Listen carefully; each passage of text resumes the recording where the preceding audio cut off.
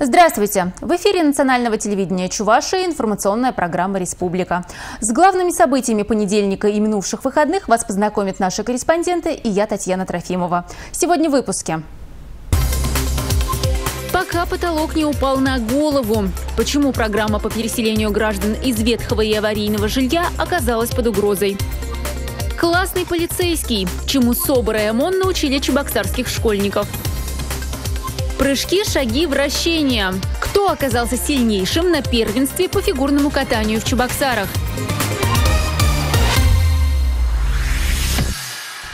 Расселить людей из аварийного жилья в намеченные сроки и не потерять поддержку федеральных органов. Председатель Кабинета министров Чувашии Иван Моторин в рамках видеоконференции провел совещание с главами администрации муниципальных районов и городских округов республики. По данным Минстроя Чувашии, существует реальная угроза не выполнить программу переселения граждан из аварийного жилья. Особенно сложная ситуация в городах Алатырь, Шумерля и Чебоксары. В этих городах муниципалитеты не проводили своевременно аукционы со всеми вытекающими из этого последствиями. По оценке Минстроя здесь есть угроза не ввода ряда позиций, и э, с учетом того, что порядка 44% первого этапа приходится на город Чебоксары у нас по программе, э, то возможные угрозы неустойки оцениваются порядка 100 миллионов рублей, даже чуть больше. Э, с учетом того, что данных средств сегодня нет, они не заложены в бюджете, соответственно, нужно мобилизовать максимально здесь все силы, работу, это относится и к Минстрою, и к городу, и с подрядной организацией эти работы выполнить.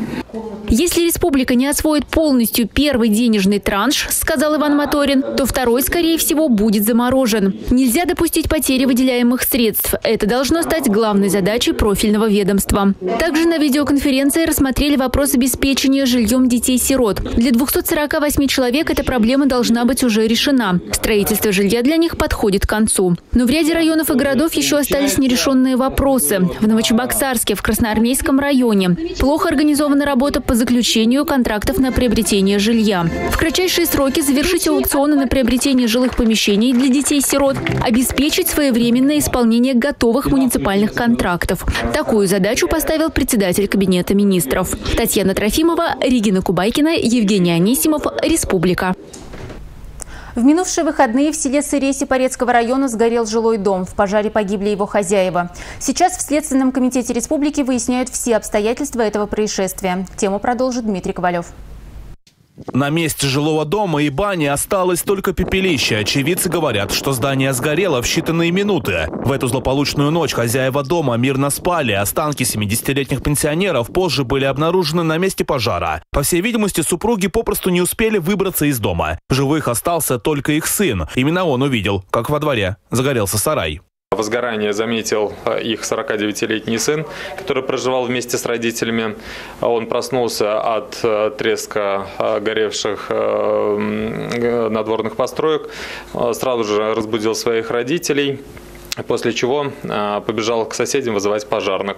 Вернувшись, он обнаружил, что родителей на улице нету. Мужчина попытался зайти в горящий дом, но не смог этого сделать из-за сильного огня и едкого дыма. Следователь отмечает, что потерпевший находился в состоянии шока. Сейчас он с различными ожогами госпитализирован в лечебное учреждение, где ему оказывается необходимая медицинская помощь. Место происшествия следователи уже осмотрели, назначена пожарно-техническая экспертиза. Работу специалистов осложняет то, что дом и дворовые постройки сгорели дотла, но уже точно известно, что это был не поджог. По предварительной версии, хозяева дома отравились угарным газом. Сейчас ее проверяют судебно-медицинские эксперты. Им приходится проводить даже серьезный химический анализ костей. Специалисты выясняют, по какой причине произошел пожар. Не исключено, что сарай загорелся из-за старой проводки. Уже к жилому дому огонь мог перекинуться по кровле. Картину этого происшествия следователи восстановят уже в ближайшее время. Дмитрий Ковалев и Николай Яковлев. Республика. Без внимания взрослых такие дети часто становятся малолетними правонарушителями. Только тогда общество начинает бить тревогу и думать, как справиться с этим злом. О том, где ребята получают шансы справиться, в репортаже Ольги Пырочкиной. Петя – обычный подвижный ребенок, который любит играть и не очень жалует школьные учебники и домашние задания. В свои 9 лет он уже второй раз в Центре временного содержания несовершеннолетних правонарушителей за кражи. Скажи, пожалуйста, вот ты здесь что делаешь? За что тут оказался? Велосипед своровал. Понятно. А здесь тебе как? Ну, что здесь делаешь, расскажи. Занимаешься, играешь с другими ребятами?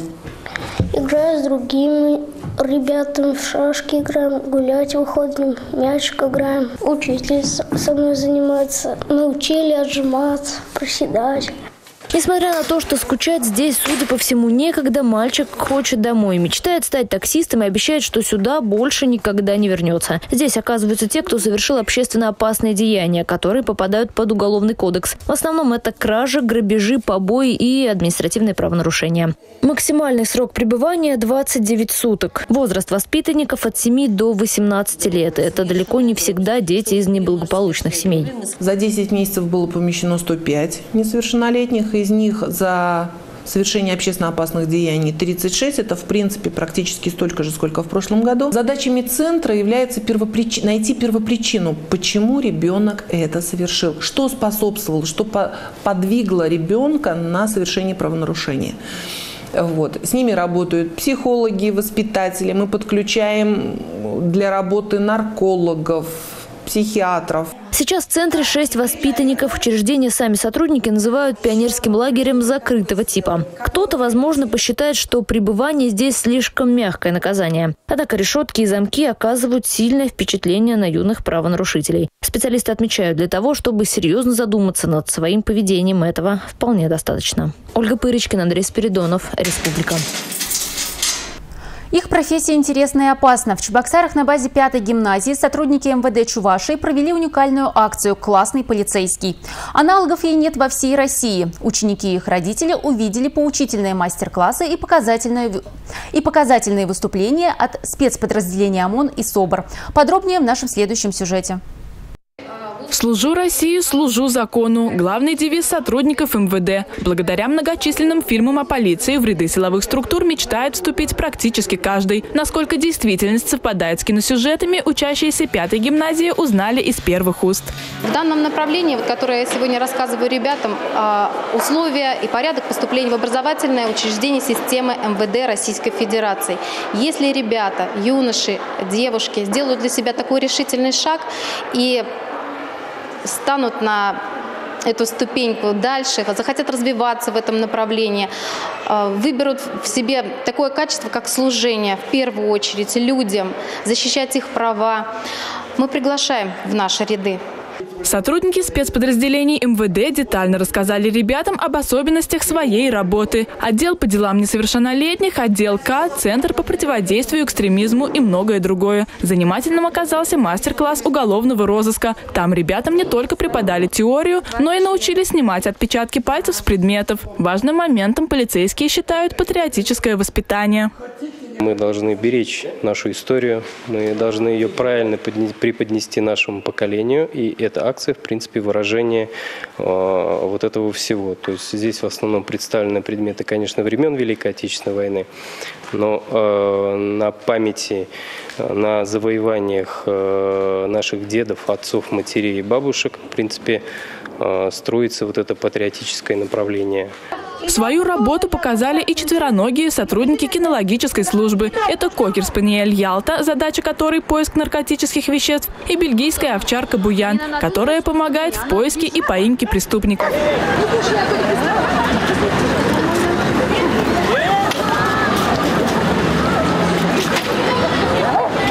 Эффектным завершением акции стали показательные выступления ОМОНовцев.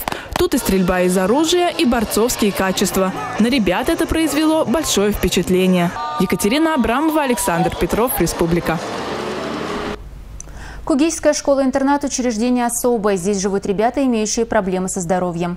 Социальная адаптация дается им нелегко, поэтому так важна им поддержка взрослых. Вот уже три года Федеральный центр травматологии и ортопедии и эндопротезирования помогает воспитанникам и педагогам. Подготовка к будущей самостоятельной жизни – вот основная задача школы. Сейчас детей с ограниченными возможностями здоровья обучают как по дошкольной, так и по школьной программе. Мы планируем еще развить направление музыкальное, поскольку а, музыка гармонизирует внутреннюю а, духовность человека, и поэтому а, думаем, что этот проект тоже получит э, достаточно серьезное признание. Мы найдем специалистов, которые помогут нам с этим справиться, с этими трудностями.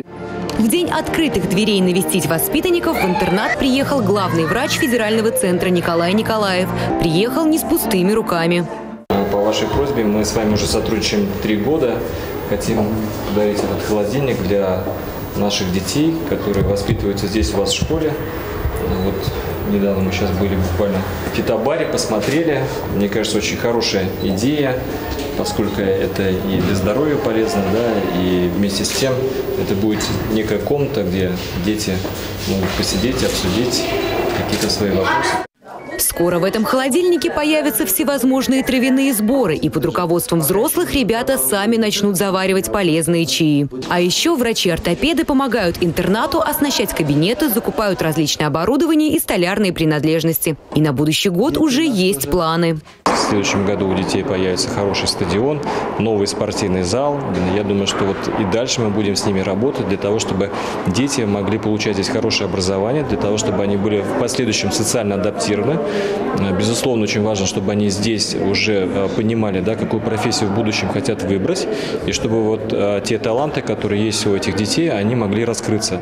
Юлия Важенина, Регина Кубайкина, Евгений Анисимов, Республика. Сегодня в 8 вечера на нашем телеканале смотрите очередной выпуск программы «Такие же». На этот раз речь пойдет об учебе и работе для лиц с ограниченными возможностями здоровья. Есть ли у инвалидов возможность реализовать себя? Речь пойдет конкретно о нашем городе. Что делается в Чебоксарах, чтобы среда здесь стала доступной? Герои программы «Инвалиды» поделятся со зрителями своими историями. Все приходилось читать и, ну, в основном просить сокурсников читать. Ну, я знала, что я буду работать всю жизнь швеей. Я в свой адрес много раз выслушивал, что, слушай, я тебе так завидую. Ну, здоровый мужик, мне говорит, я тебе так завидую. Увидела его издалека и побежала к нему сама. Вот сколько радости было. Тогда я первый раз увидела, кто, как папа плачет. Смотрите проект «Такие же» сегодня в 20.00 на национальном телевидении. В Чебоксарах состоялась первая встреча членов Союза кинематографистов Чувашии. Киноклуб прошел в Национальной библиотеке. Мои коллеги узнавали о творческих планах. Союз кинематографистов Чувашии появился совсем недавно, пока он объединил не очень много людей. Но все они известные в мире культуры творческие личности. Среди них Вячеслав Оринов, Алексей Иванов, Владимир Корсаков. На следующий год мы э, собираемся провести первый сечувашский кинофестиваль. Вот. Э, в работе будут принимать принимаются работы наших э, местных кинорежиссеров, э, проживающих в Чувашской республике, а также представителей чувашской диаспоры Российской Федерации. Так как дело это новое для нас, это впервые проводится, опыта у нас работы нет, мы обращаемся ко всем жителям Чувашской республики, ко всем, кому э, не безразлична судьба чувашского кино, по мере возможности оказать содействие и помощь э, данному мероприятию. Хотя «Союз» и «Молодой» планы далеко идущие. Так сейчас кинорежиссер Юрий Спиридонов собирается снимать фильм «Сувар». О том, как зарождался чувашский этнос. Уже проведен кастинг актеров. Сам фильм планируется закончить к 550-летнему юбилею Чебоксар. Также Союз кинематографистов Чуваши и ЧИГУ имени Ульянова подписали соглашение. В его рамках ВУЗ начнет готовить специалистов для работы в киноиндустрии. В столице республики в Ледовом дворце «Новое поколение» прошло первенство Чебоксар по фигурному катанию. Этот вид спорта сейчас активно развивается. На соревнования приехали спортсмены из 12 городов России. Подробнее в следующем сюжете. Желающих попасть в фигурное катание всегда было достаточно. Однако после побед в этом виде спорта на Олимпийских играх их стало намного больше. Вот и в нашем городе есть тренерский состав, готовый взять под свою опеку юных фигуристов. Уже кое-какие подвижки есть, кое-какие-то есть у нас уже успехи, небольшие, но уже, уже выходим на региональном уровне, неплохие места занимаем. Но наша задача развивать его, выйти на российский уровень готовить уже мастеров. Для начала решили провести открытое первенство города Чебоксары, куда приехали более 150 юных фигуристов.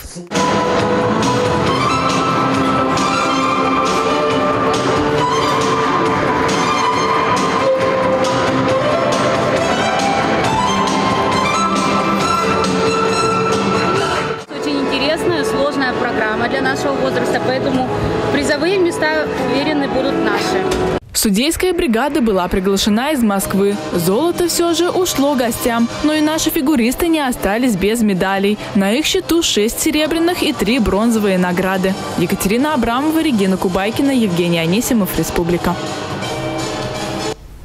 Сегодня, 17 ноября, стартует всероссийская антинаркотическая акция «Сообщи, где торгуют смертью». О ней пойдет речь в программе «По существу», которая выйдет в эфир сразу после нашего информационного выпуска. А я с вами прощаюсь. До свидания.